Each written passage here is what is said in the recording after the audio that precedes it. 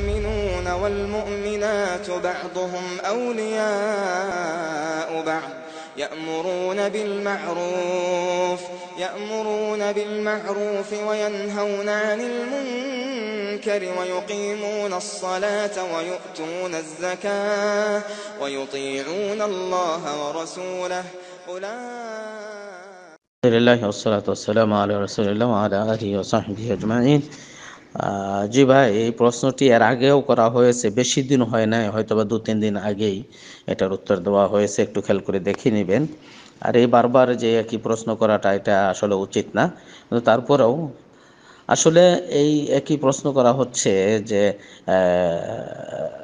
বহু লোক একত্রে বসে জিকির করা, এই বহু লোক একত্রে বসে জিকির করার প্রথাটা, এইটাই শরীয়তে নতুন কিছু।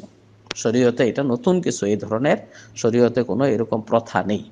আপনি যার যার জিকির করবেন, জিকিরের আদব রক্ষা করে আপনি জিকির করুন এবং জিকিরের আদব যেন আল্লাহর দেওয়া শিক্ষি, শিক্ষা দেওয়া, আল্লাহর শিক্ষা দেওয়া আদব অনুযায়ী হয়।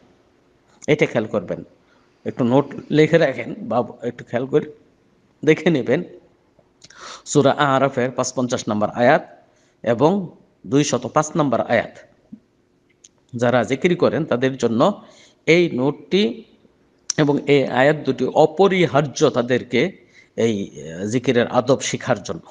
জিকিরের আদব আল্লাহ কি শিক্ষা দিয়েছেন? কীভাবে আল্লাহ জিকির করতে বলেছেন? অবশ্য, অবশ্যই মুখস্থ করে নেবেন সোরা আরাফের পাঁচ পঞ্চাশ নম্বর আয়াত এবং দুই শত পাঁচ নাম্বার আয়াত। আল্লাহ তালা কি বলেছেন? সেই আদব অনুপাতে যেন জিকির হয়। তখনই তারতম্য করতে পারবেন যে বর্তমান যুগে যে জিকিরের বৈঠকগুলো হচ্ছে, জিকিরের অনুষ্ঠানগুলো হচ্ছে, এটি কি শরীয়ত সম্মত? ইসলাম সম্মত? আল্লাহ শিক্ষা দেওয়া আদব অনুপাতে হচ্ছে? নাকি শরীয়তের মধ্যে এটা নতুন কিছু করা হচ্ছে বা আল্লাহর বিধানকে লঙ্ঘন করা হচ্ছে? এই বিষয়টি খেয়াল করবেন।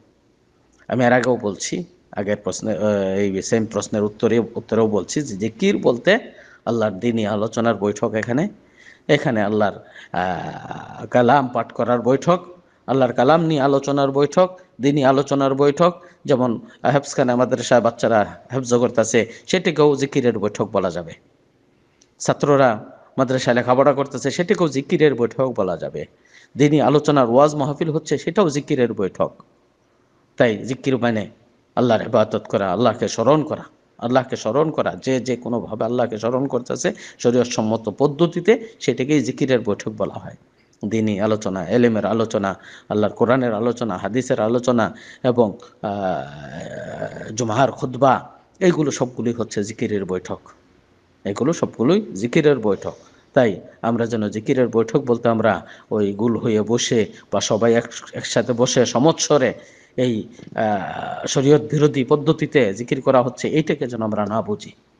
তাই বিষয়টা একটু বোঝার চেষ্টা করবেন। কোরআনের দলিল ভিত্তিক, হাদিসের দলিল ভিত্তিক, যারা বর্তমানে এই প্রথা চালু করতেছে, তারা কি আদৌ কোরআনকে মানতেছে, না কোরআনের বিধানকে লঙ্ঘন করতেছে? এটা সৎ একটু দেখে নেবেন দয়া করে। আল্লাহ আমাদেরকে সঠিক বোঝ দান করুন, সঠিক জ্ঞান দান করুন এবং সেই অনুপাতে আমল করার জন্য তৌফিক দান করুন। সালাম আলাইকুম রহমতুল্লাহি ওবরাকাত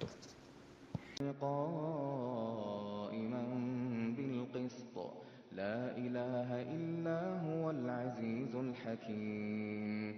إن الدين عند الله الإسلام. وما اختلف الذين أوتوا الكتاب إلا من بعد ما جاءهم إلا من بعد ما جاءهم